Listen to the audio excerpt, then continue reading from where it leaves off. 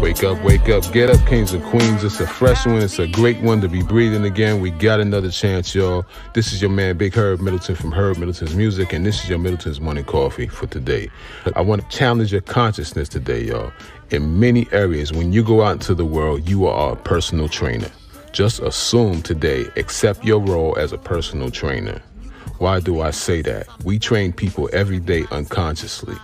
We train people how to look at us. We train people how to treat us just based upon how we treat ourselves.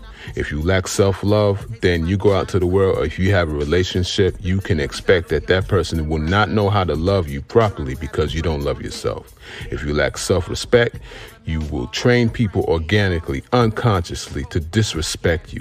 How can you expect love if you don't give it to yourself? How can you expect respect if you don't respect yourself? on top of that, how can I expect my sons to go out into the world and treat women right if I treat my wife raggedy?